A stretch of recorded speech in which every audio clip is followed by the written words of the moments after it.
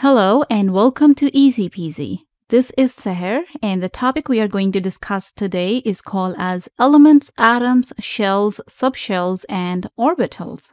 If we look at the planet Earth and the things that are present around us, whether living or non-living, everything that we can see are made up of elements.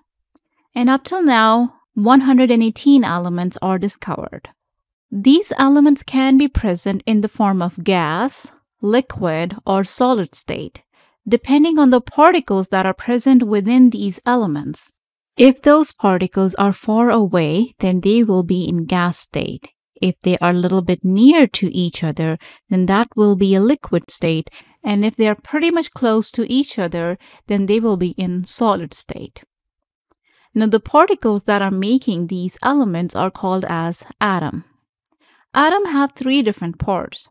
One is the electron that is revolving around the nucleus.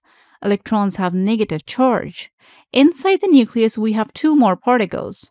One is proton that have positive charge on it, and one is neutron that doesn't have any charge. Now let's take an example of a real atom called helium. So helium have two protons and two neutrons in the nucleus, and there are two electrons in blue color that are revolving around it. The symbol of helium is He. Besides helium, we can see a number 4 and number 2. What does that mean? Number 4 is the atomic mass of helium.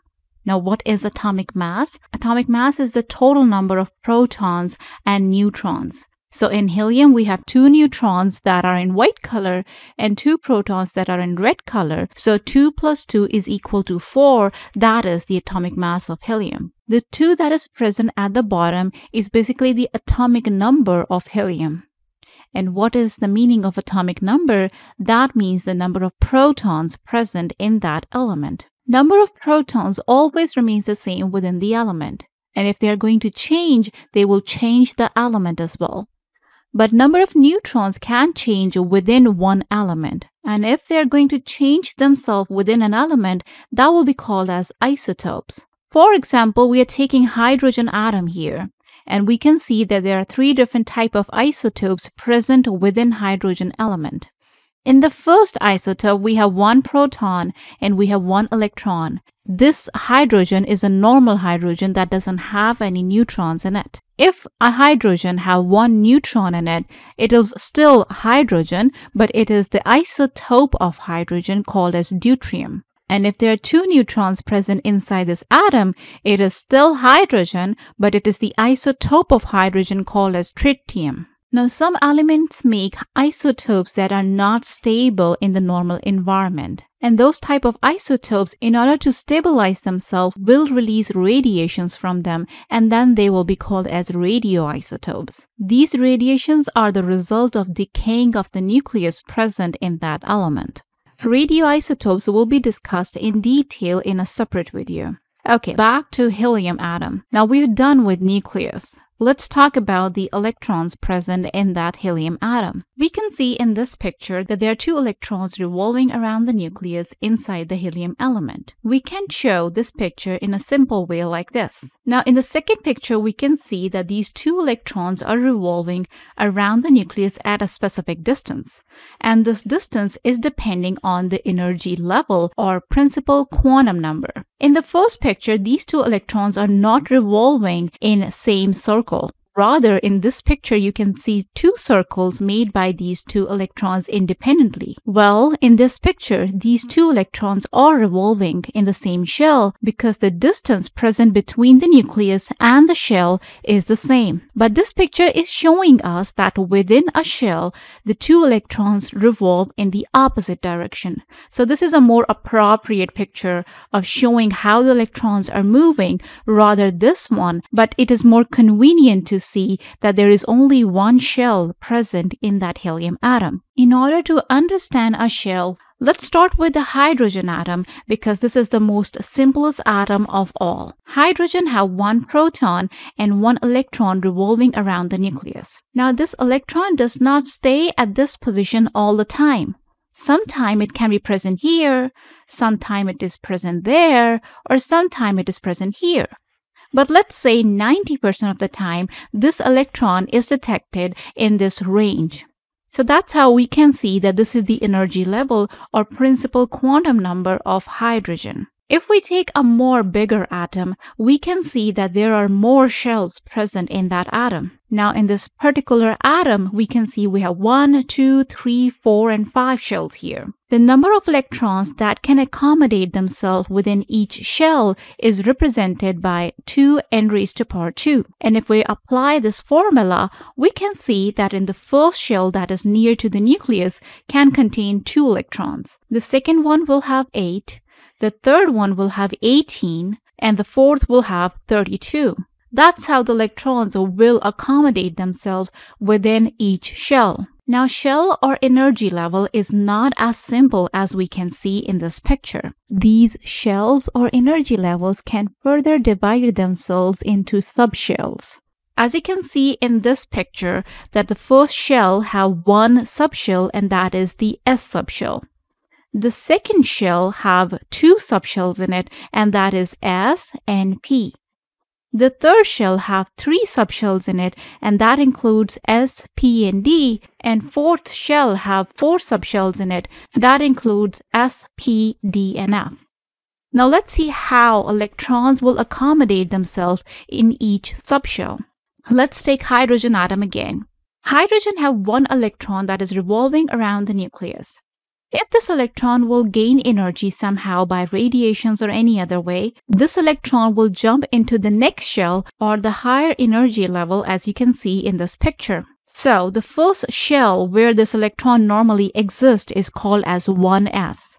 And the second shell where this electron jumped itself into is called as 2s. Now let's assume that this electron is present in 2s and will gain more energy. So if this electron will gain more energy, the movement of this electron will change from circular motion into a static wave-like shape or dumbbell shape as you can see in this picture. With this much energy, this electron is still present in the same shell but in a different subshell. So now this electron is present in the second subshell and that is the p subshell. The movement of electron in a dumbbell shape is called as orbital. Now we have three different types of orbitals in p subshell. In this picture, as you can see, this movement is along x-axis, so this is 2px. It can also be along y-axis, so it will be called as 2py, or it can be along z-axis, called as 2pz. Now let's add up all the information that we discussed up till now about shells, subshells, and orbitals. The first element is hydrogen that we discussed up till now. Hydrogen have one electron in its outermost shell, so it will be present in 1s subshell. And the electronic configuration of hydrogen is 1s. If we talk about helium, helium have two electrons in its first shell and they will be accommodated by one s subshell, but these two electrons will move in opposite direction. So the electronic configuration of helium is 1s2. As you can see, these two lines are showing that these two electrons are moving in opposite direction. If we talk about lithium, lithium atomic number is 3 so it have three electrons in total. The first two electrons will get accommodate in one subshell, but this third electron will move into the next shell and that is the 2s. So the electronic configuration of lithium is 1s2 and 2s1. Over here, you can see that in the first shell, two electrons are moving in opposite direction and one electron is present in the 2s subshell. Let's talk about carbon now. Carbon have total 6 number of electrons in its atom. 2 electrons will get accommodated in 1s2 and 4 electrons will be present in the second shell. Now in the second shell we have two subshells and that is s and p. So the third and fourth electron will get accommodated by 2s and the other two electrons will get accommodated by p orbitals. It can be along x-axis, y-axis or z-axis. So the electronic configuration of this carbon atom is 1s2, 2s2, and 2p2. If we look over here, we can see that two electrons are present in opposite direction in 1s2, two electrons are present in 2s2 in opposite direction and one electron is present in each p orbital. It can be px and py, it can be py and pz, it can be pz and px depending on the existence of electron in that subshell. Let's move on to the next element and that is neon. In neon, we have total 10 number of electrons in that atom. Two electrons will get accommodated by 1s2. Two electrons will get accommodated by 2s2 and the rest of the six electrons will be accommodated by three orbitals of p subshell. So it will be present in all these subshells. Let's see the electronic configuration of that atom. So as you can see over here, the 1s2 have two electrons in opposite direction, 2s2 has two electrons in its opposite direction and 2p6 is over here showing us that they have three different type of orbitals and in each orbital we can accommodate two 2 electrons in its opposite direction. Let's take another atom and now we are taking sodium this time. Sodium have total 11 number of electrons in its atom. Again, we know how to accommodate 10 number of electrons, but the last electron will move on into the next shell, and that is the 3s shell. So the electronic configuration of the sodium is 1s2, 2s2, 2p6, and 3s1. And you can see the orbitals or movement of electrons in each subshell. And that's how the atom accommodate all the electrons in their shells, subshells, and orbitals. Furthermore, with the bigger atoms, we can move on to the next subshells and that is the D subshell and F subshell. In D subshell, we have five different type of orbitals there and each orbital can accommodate two electrons in it. So in total, D subshell will accommodate 10 electrons. If we talk about F subshell, F subshell have seven different type of orbitals there and each orbital can accommodate two electrons in it. So in total, F subshell can accommodate 14 electrons. Now let's summarize this information in one picture. So as we know, we have one shell. In that shell, we can have subshells that can be S, P, D, and F. Within these subshells, we can find different type of orbitals. So in S subshell, we have only one orbital. In p subshell, we have three different type of orbitals. In d subshell, we have five different type of orbitals, and in f subshell, we have seven different type of orbitals. And each orbital can accommodate two electrons that are moving in the opposite direction. Okay, last but not least, valence shell and valence electron. We can see we have different type of elements here and every element have its unique properties, both chemical and physical. The chemical properties are mostly dependent on the electrons that are present in the outermost shell. That's why the outermost shell is also called as valence shell and the electrons that are present in the outermost shell are called as valence electrons. In this picture, as you can see, we have three different type of elements, helium, lithium, and sodium. Though helium and lithium are present side by side with having only one electron extra in lithium, but their properties are entirely different from each other. But if we look at lithium and sodium, we can see that their chemical properties are a lot similar.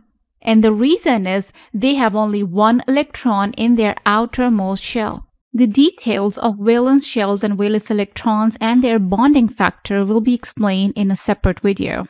That's it for now. Thank you very much for watching this video. If you like it, please subscribe our channel. Thank you. Bye-bye.